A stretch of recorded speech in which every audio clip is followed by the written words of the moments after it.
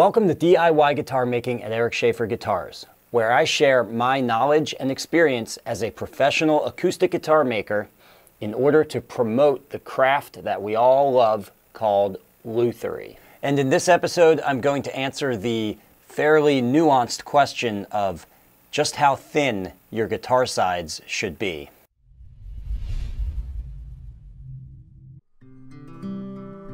So first of all, it's important to understand that the only reason that we thin the guitar sides out to the degree that we do is to facilitate the bending process. We're not thinning out the sides for the same reason that we say thin out the soundboard and the back plate. It has nothing to do with the acoustics of the guitar. It's just simply so that we can get it thin enough that it will take a bend without either leaving compression marks or, in the worst case, snapping. In fact, later in the guitar building process, you will likely be adding braces or side struts to the sides in order to give some rigidity back to the sides after you've taken it away by thinning it out so much. And the sides need that rigidity added back into it in order to couple the soundboard and the back plate together. You don't want the sides to be all loose and resonant like the soundboard and the back are, because in, in that case, there's really nothing to couple the resonance of those two plates together. So it's an interesting thing because I think people sometimes get the wrong impression about um, thinning out material in the way that they think that thinner is always better or less is always more, and that's simply not true when it comes to acoustics. It's just more complicated than that. But anyway, getting back to why we do thin out the sides, which is to facilitate the bending process. What I consider to be the range of appropriate thickness for bending is 65 thousandths of an inch on the extreme thin end and 90 thousandths of an inch on the extreme thick end. Now, in my experience, and I'm assuming in the experience of others, thinner always makes the bend go easier.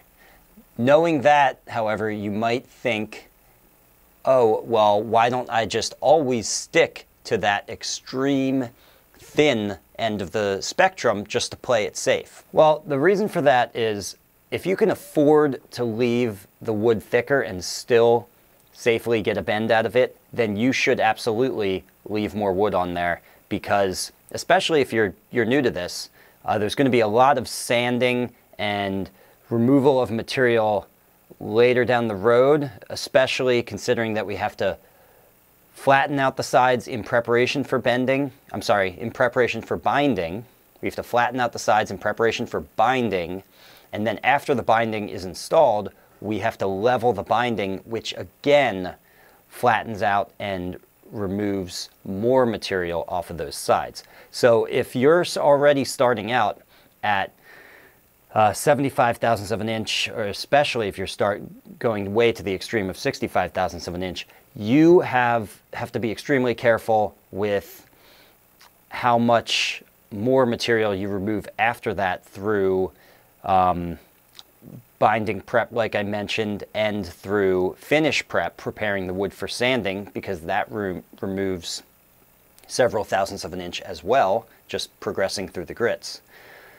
If you are not very mindful of that and you've already thinned your wood out to 65 thousandths of an inch, it's very easy to run into problems where you're um, sanding through the binding in some areas or maybe even through the sides or just leaving the sides way too thin, like 40 thousandths of an inch or something like that in some areas, which is just not stout enough to hold up against, say, um, splits and, and punctures in the side of the wood.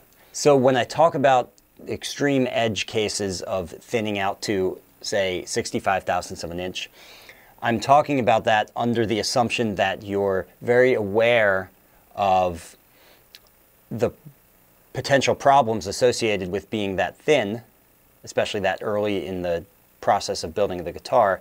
And so throughout the rest of the building process, you set yourself up in such a way that you are not continuing to remove excessive material um, through flattening and through finish sanding and all that.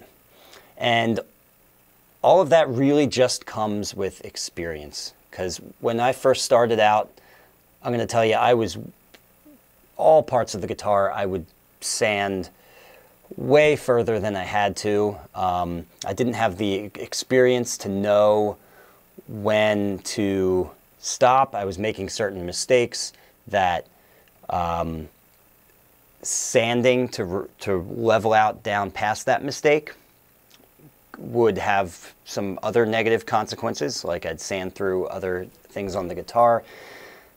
Uh, these, are, these are all problems that, that beginners have, which is just more of a reason, if you're just getting into this, to just avoid the woods that are difficult to bend in the first place. Bend with something like cherry or uh, rosewood is a highly desirable wood, but also a wood that accepts a bend very easily. So both of those woods you can leave thicker. Um, 85 thousandths of an inch is a pretty safe bet, but you can definitely even get away with 90 thousandths of an inch. And then you're not worried so much about um, sanding later on in the process and potentially, you know, going too far. The woods that you want to thickness further are going to be primarily your figured woods, like your flamed maple, uh, flamed mahogany, anything described as flamed or curly or beeswax. All of these are very figured woods, which means that the grain is going to be much more erratic and that wandering grain is what makes the bend more difficult because it's unpredictable. There are some other uh, species of wood that are, are just difficult even without a figure. Um, but those are more of edge cases that we're not going to worry about here. So generally for difficult woods or figured woods, I thickness them out to 75 thousandths of an inch. And then this is a little trick, and you can do this for, you know, even on the easy woods. And I picked this up, by the way, from John Hall, one of his videos. If you thin out your sides and then go to just the waist with either a scraper or a hard block with uh, sandpaper, you can thin out just that waist area an extra five or ten thousandths of an inch because that's where the most significant bend is happening right in the waist. So on very difficult woods, I'll thin the whole side out to 75 thousandths of an inch and then thin just the waist area down to 65 thousandths of an inch, which is at that far extreme end of that spectrum. Um, for more ideal woods, again, cherry, rosewood, I will leave those at 90 thousandths of an inch, but then again, I'll still take a hard block and thickness the waist area down an extra um, 10 thousandths of an inch, which will leave it at 80. Now for cutaways, you're going to have a much more extreme bend in that cutaway area, whether it's a Florentine cutaway or a Venetian cutaway.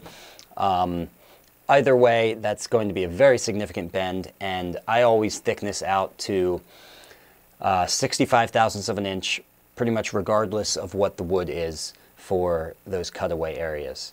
But when I do this, I know that in those areas, I have to have all my work set up in such a way that I'm not going to be excessively thinning out those areas later on in the process. So certainly if you're new to acoustic guitar making, um, you should probably consider just staying away from any kind of cutaway altogether and incorporating that into your process further down the road.